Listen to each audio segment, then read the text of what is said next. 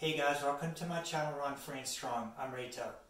Today we're going to talk about some new and exciting features coming to the Garmin 945 that are aimed at the trail and ultra runner.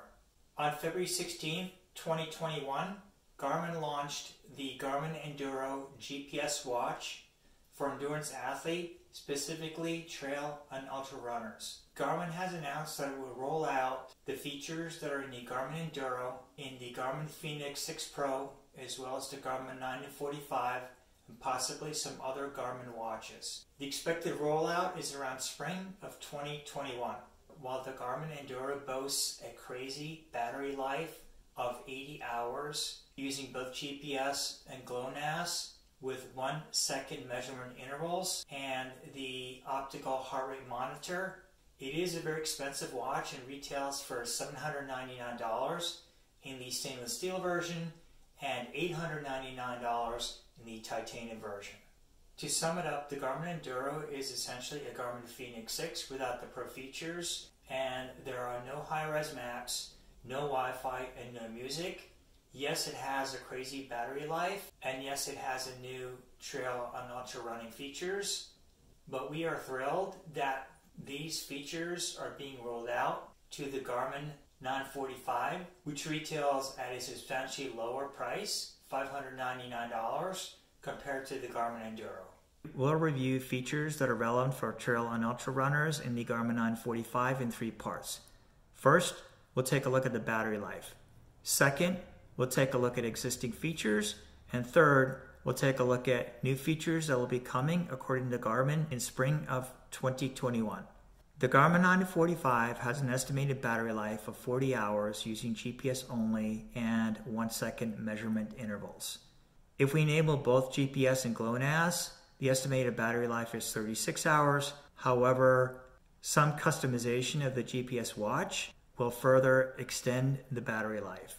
The estimated battery life should be more than sufficient to complete a 100 mile ultramarathon, most of which have a 30 hour cutoff limit. Next, let's take a look at a couple of really cool features that already exist in the current Garmin 945.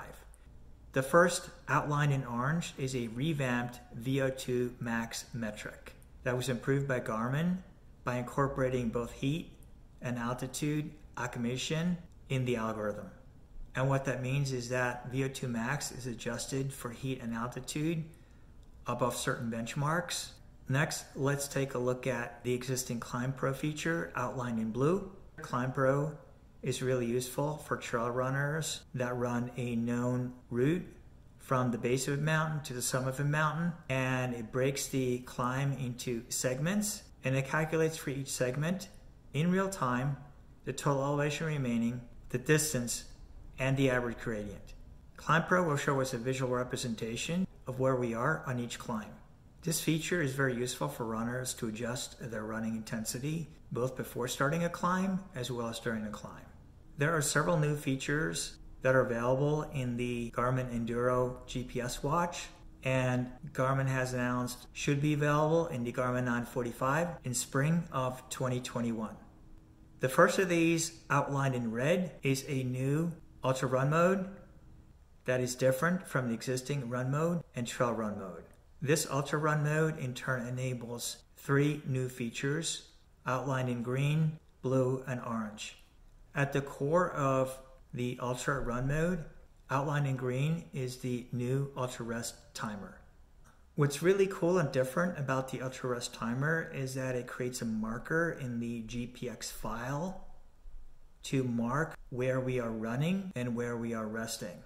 For example, in an aid station or some other kind of transition point or zone.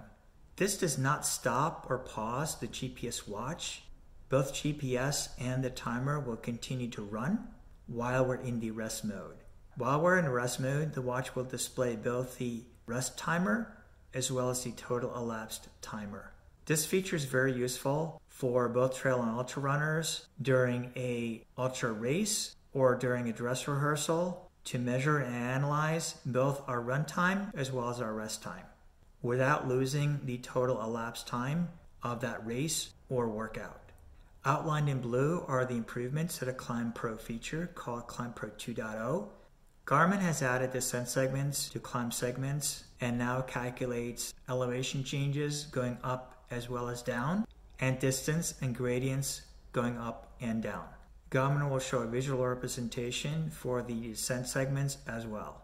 With the Climb Pro feature complete, this is very useful for trail and ultra runners to adjust their running intensity as well as their run walk strategy. We might want to walk the uphills and run the flats and the downhills, and also time the refueling and hydration before a climb, for example, or whenever it makes sense. Garmin has also added an alert to the Climb Pro feature to alert us as we approach or start a climb or descent. Last, outlined in orange, is a trail running VO2 max metric. The trail running VO2 max metric builds on the already revamped VO2 max metric that is adjusted by the heat and altitude acclimation and further fine tunes the VO2 max algorithm with trail relevant data. This is very important because the previous VO2 max metric underreported actual VO2 max for trail and ultra runners. The previous VO2 max calculation was unable to measure the intensity required to navigate trail obstacles and trail conditions that would elevate a runner's heart rate. The unfortunate result was that the previous unadjusted VO2 max would assume we're less fit than we actually are because we're running slower at a higher heart rate than we would on the roads. The new algorithm considers accelerometer, another data to calculate trail running VO2 max. It is still possible to turn off VO2 max for trail run and ultra run modes. For example, we're carrying a heavier pack, we may not want to calculate VO2 max. I hope this video has been a useful preview of the new trail and ultra running features coming in the Garmin 945, hopefully by spring of 2021.